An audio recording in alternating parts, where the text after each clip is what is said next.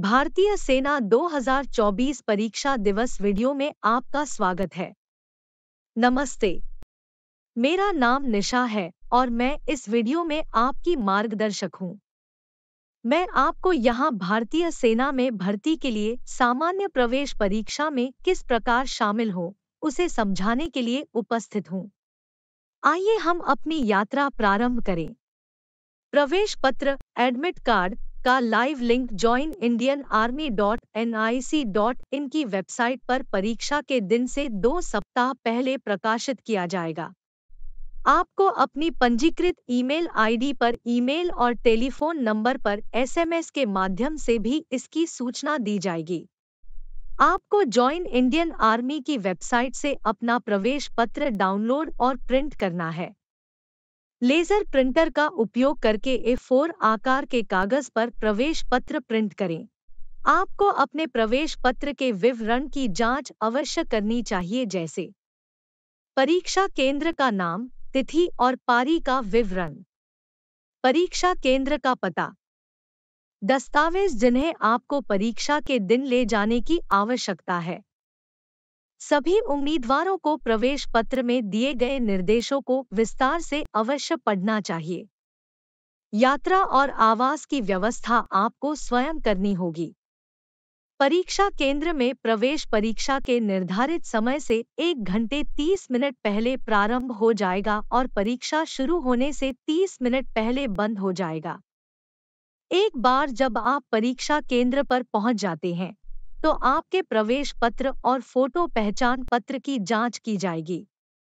आपको अपना व्यक्तिगत सामान जैसे मोबाइल फ़ोन, बैग आदि अपनी ज़िम्मेदारी पर प्रवेश द्वार पर जमा करना होगा। क्या करें? उम्मीदवार परीक्षा के दिन केवल पारदर्शी पेन, पारदर्शी पानी की बोतल, मूल आईडी कार्ड और प्रवेश पत्र लेकर आएँगे। क्या न करें। उम्मीदवार को इलेक्ट्रॉनिक गैजेट्स और ज्वेलरी आइटम्स के साथ अनुमति नहीं है। उम्मीदवारों की तलाशी की प्रक्रिया तलाशी कर्मी द्वारा की जाएगी। तलाशी के बाद आपका परीक्षा हॉल नंबर आवंटित किया जाएगा। आपके परीक्षा हॉल में पहुँचने पर प्रवेश द्वार पर आपके दस्तावेजों, अर्थात आपका पहचान पत्र और प्रवेश पत्र की जाँच की जाएगी। इस स्थान पर दस्तावेज़ सत्यापन किया जाएगा। हॉल में प्रवेश कर दस्तावेज़ सत्यापन के बाद आप पंजीकरण डेस्क पर जाएँगे। पंजीकरण डेस्क पर आप पंजीकरण प्रबंधक को अपना प्रवेश पत्र और मूल पहचान पत्र दिखाएँगे। पंजीकरण प्रबंधक आपकी फ़ोटो और अंगुली की छाप लेगा। कृपया सुनिश्चित करें कि आपने अपनी उंगलियों को ठीक से साफ़ किया है और फोटोग्राफ के लिए ठीक से तैयार है क्योंकि भर्ती के अगले चरण में इसी बायोमेट्रिक का उपयोग किया जाएगा। इसके बाद पंजीकरण प्रबंधक आपको सीट नंबर देगा और प्रवेश पत्र पर सीट नंबर नोट कर लेगा। अपने प्रवेश पत्र और मूल पहचान पत्र के साथ आप निर्धारित सीट की ओर आगे बढ़ेंगे। परीक्षा प्रारंभ होने से पहले निरीक्षक निर्देश पढ़ेंगे। रफ शीट पर आपको अपना नाम और रजिस्ट्रेशन नंबर लिखना होगा। उत्तरों को चिन्हित करने के लिए माउस का प्रयोग करें। अन्य उम्मीदवारों को परेशान न करें। फिर निरीक्षक आपको परीक्षण स्क्रीन पर लॉगिन करने के लिए सूचित करेगा। आप लॉगिन करने के लिए कीबोर्ड का उपयोग कर सकते हैं। आप स्क्रीन पर कीबोर्ड आइकन पर क्लिक करके वर्चुअल कीबोर्ड का भी उपयोग कर सकते हैं। परीक्षा शुरू होने के निर्धारित समय से 10 मिनट पहले उम्मीदवारों को लॉगिन करने के लिए यूजरनेम और पासवर्ड प्रदान किया जाएगा। लॉगिन करने के बाद अपनी प्रोफ़ाइल जानकारी सत्यापित करें। यदि आपका विवरण सही है तो आगे बढ़ने के लिए आई कन्फर्म पर क्लिक करें। अगली स्क्रीन आपके परीक्षण संबंधी निर्देशों को प्रदर्शित करेगी। निर्देशों को ध्यान से पढ़ें और आगे बढ़ने के लिए नेक्स्ट पर क्लिक करें। अंत में आपको चेक बॉक्स का चयन करके घोषणा को पढ़ना होगा और उससे सहमत होना होगा। ड्रॉप डाउन सूची से अपनी डिफ़ॉल्ट भाषा, हिंदी या अंग्रेज़ी चुनें। आप अपनी सुविधा के आधार पर परीक्षा के दौरान स्क्रीन के दाहिने शीर्ष कोने पर स्थित भाषा बटन पर क्लिक करके भाषा बदल सकते हैं। परीक्षा के निर्धारित समय पर I am ready to begin link सक्षम हो जाएगा। आगे बढ़ने के लिए लिंक पर क्लिक करें। यह बताया जाता है कि लॉगिन करने के बाद, एक बार परीक्षा शुरू होने के बाद प्रश्नों के उत्तर देने के लिए केवल कंप्यूटर माउस का उपयोग किया जाना है। कीबोर्ड के इस्तेमाल से सिस्टम लॉक हो जाएगा। अब आप माउस का उपयोग करके उत्तर सबमिट करना प्रारंभ कर सकते हैं।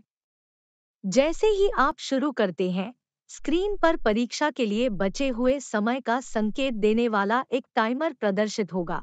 नोट, यदि परीक्षा के दौरान किसी व्यवधान के कारण टाइमर बंद हो जाता है तो आप परीक्षा की अवधि का समय नहीं गंवाएँगे। दाईं ओर एक पैनल आपके प्रयास किए गए प्रश्नों की स्थिति को चार रंगों में प्रदर्शित करेगा जो निम्नलिखित को दर्शाता है। हरा, सवालों के उत्तर दे दिए गए हैं। लाल, प्रश्न देखे गए लेकिन न तो उत्तर दिए गए न ही मार्क फॉर रिव्यू के लिए चिन्हित किए गए हैं। सफ़ेद, प्रश्न अभी तक देखे नहीं गए हैं। बैंगनी मार्क फॉर रिव्यू के लिए चिन्हित किए गए, लेकिन उत्तर नहीं दिया गए हैं। सुप्रस्क्रिप्ट के रूप में बैंगनी के साथ हरा टिक मार्क। सवालों के जवाब दिए गए, लेकिन मार्क फॉर रिव्यू के लिए चिन्हित किए गए। प्रश्नों के बीच नेविगेशन के लिए। सीधे उस प्रश्न पर जाने के लिए प्रश्न पैलेट में प्रश्न संख्या पर क्लिक करें। वर्तमान प्रश्न के लिए अपना उत्तर सेव करने के लिए सेव एंड नेक्स्ट पर क्लिक करें और फिर अगले प्रश्न पर जाएँ। किसी प्रश्न के लिए answered and marked for review स्थिति इंगित करती है कि उम्मीदवार उस प्रश्न पर फिर से विचार करना चाहेंगे एक उम्मीदवार के पास एक प्रश्न का उत्तर देने का विकल्प होता है और साथ ही साथ मार्ट फॉर रिव्यू इन उत्तरों को मूल्यांकन के लिए माना जाएगा हालाँकि, यदि किसी उम्मीदवार ने किसी प्रश्न का उत्तर दिए बिना केवल मार्क फॉर रिव्यू कर दिया है तो उत्तर के बिना समीक्षा के लिए चिन्हित किए गए संबंधित प्रश्न को मूल्यांकन के लिए नहीं माना जाएगा। नोट, यह ध्यान दिया जा सकता है कि उम्मीदवार परीक्षा के दौरान किसी भी समय संबंधित अनुभाग के प्रश्न पैलेट पर प्रदर्शित संबंधित प्रश्न संख्या आइकन पर क्लिक करके किसी भी मार्क फॉर रिव्यू प्रश्न पर वापस लौट सकते हैं। अपना उत्तर चुनने के लिए किसी एक विकल्प के बटन पर क्लिक करें। अपने चुने हुए उत्तर को अचयनित करने के लिए चुने गए विकल्प के बटन पर फिर से क्लिक करें या क्लियर रिस्पॉन्स बटन पर क्लिक करें। अपने चुने हुए उत्तर को बदलने के लिए दूसरे विकल्प के बटन पर क्लिक करें। अपना उत्तर सेव करने के लिए आपको सेव एंड नेक्स्ट पर बटन पर क्लिक करना होगा। सावधानी ध्यान दें कि यदि आप किसी अन्य प्रश्न की प्रश्न संख्या पर क्लिक करके सीधे उस पर जाते, नेविगेट करते हैं, विदाउट सेविंग दी आंसर, वर्तमान प्रश्न के लिए आपका उत्तर सेव नहीं होगा। आप अन्य विवरण भी देख सकते हैं, जैसे क्वेश्चन पेपर। आप परीक्षा में सभी खंडवार प्रश्न देख सकते हैं।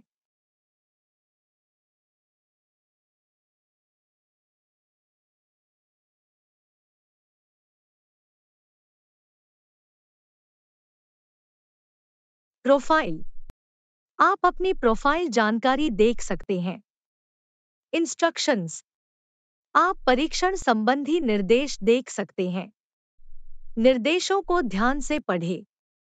परीक्षा का समय समाप्त होने के बाद सभी उत्तर ऑटो सबमिट हो जाएँगे। परीक्षा पूरी होने के बाद आपको सत्यापन डेस्क पर निकास सत्यापन की प्रक्रिया पूरी करनी होगी। आपको एक एक करके सत्यापन डेस्क पर बुलाया जाएगा।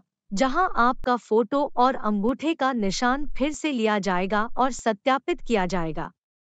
कृपया सत्यापन के बाद अपनी आवंटित सीट पर वापस जाएँ। हॉल में सभी उम्मीदवारों के सत्यापन समाप्त हो जाने के बाद आपको सभी रफ शीट और पेन पेंसिल निरीक्षक को अवश्य वापस करना है। आप यह सुनिश्चित करें कि आपने अपने रफ शीट पर आपका नाम और रोल नंबर लिखा है। इसके बाद आपको व्यवस्थित तरीके से परीक्षा हॉल से बाहर जाने के लिए कहा जाएगा। इसके साथ, आपने ज्वाइन इंडियन आर्मी 2024 परीक्षा दिवस वीडियो को सफलतापूर्वक देख लिया है।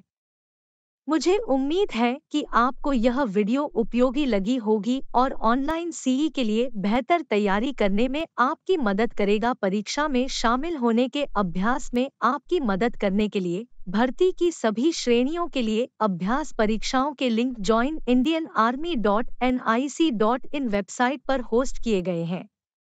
सभी उम्मीदवारों को सलाह दी जाती है।